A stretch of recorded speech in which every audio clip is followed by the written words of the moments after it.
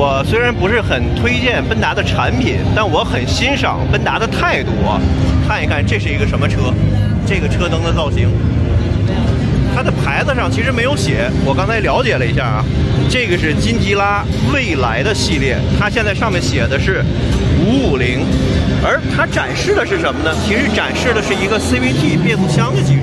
我们可以从二五零哎，是一可以从二五零到六百排量去适配的这样一个 CVT 自动变速箱，但是我是觉得他们是把芝麻展出来了，结果这个西瓜也端出来了。其实这个车型大家看一看，这就是未来他们可能要上的新款的五五零金吉拉，造型确实好看啊，但这个车型是处于保密的状态。他们展出的主要是这个 CVT 的变速箱的细节，你们喜不喜欢？